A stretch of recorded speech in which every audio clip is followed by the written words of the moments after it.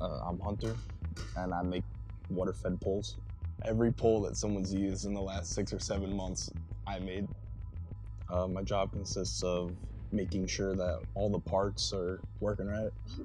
I quality check the clamps, make sure that everything's tightened properly, make sure it's all packed right, and make sure we actually have the right amount of what they said they sent us.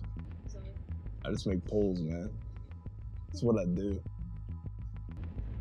My first day at WCR, I I was working in shipping, and I, I was here for like five minutes, and Mario was teaching me how to do stuff, and I cut my finger open, and he, that's then he like ran me over to the first aid kit to patch my finger up before anyone realized that I'd been there for five minutes and cut myself.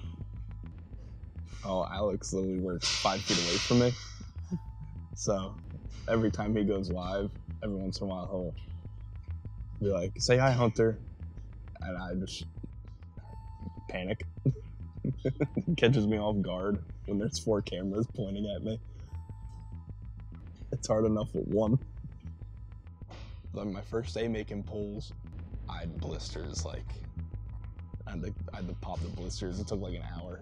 Now now it's now it's easy. Now I just crank these things out. I just make poles. Every single pull Hundreds of knobs a day. I just it's, it's what I do, man.